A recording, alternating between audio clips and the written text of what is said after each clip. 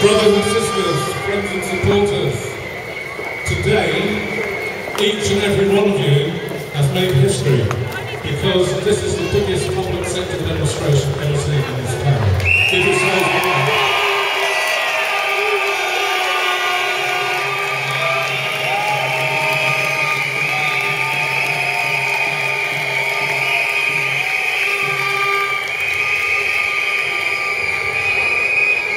You have been an inspiration to us all, and I think you've been an inspiration to the people of Ipswich.